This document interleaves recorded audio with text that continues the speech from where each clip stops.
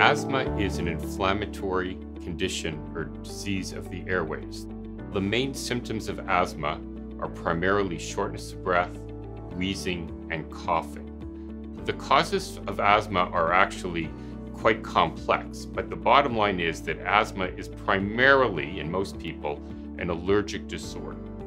Asthma can affect people differently because some people have mild asthma and will only have symptoms uh, very occasionally. And then there are other people who are unfortunately affected with more severe, persistent asthma, where they have symptoms just about every day, all the time. Asthma is also a disease that can affect anyone at any time. So you can uh, be free of asthma your whole life, and at age 60 or 70, even, you can develop asthma for the first time.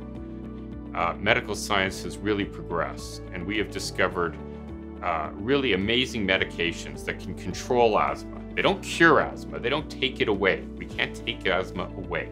But with the proper medication, we can control 99.9% uh, of our patients with asthma. So, asthma action plans are, um, are uh, medical plans that the physician makes with the patient to help them better manage their asthma at home. The whole point of it is to empower patients to be able to manage their health on their own and, and to be confident to manage their health on their own and, and not to have to rely on emergency medical services.